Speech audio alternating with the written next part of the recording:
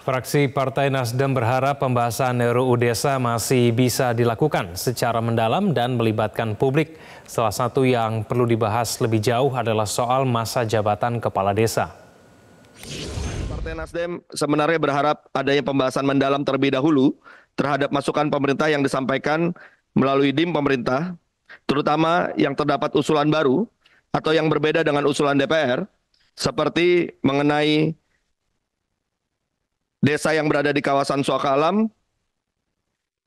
kemudian mengenai masa jabatan kepala desa, dan sumber pendapatan daerah. Dan tidak hanya dibahas dalam waktu beberapa jam saja. Secara substansi, fraksi Nasdem mendukung RU ini. Namun terdapat terhadap tata cara pembahasan yang dilaksanakan secara singkat, yang dikhawatirkan justru mengurangi harapan untuk memperkuat RU ini dan kesempatan ini untuk memperkaya substansi yang menjadi lebih sempit waktunya. Jelajahi cara baru mendapatkan informasi. Download Metro TV Extend sekarang.